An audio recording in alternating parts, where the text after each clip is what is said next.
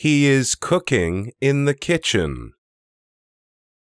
He is sweeping the floor. He is sleeping on the sofa. She is cleaning the room. She is opening the curtains. She is washing the vase.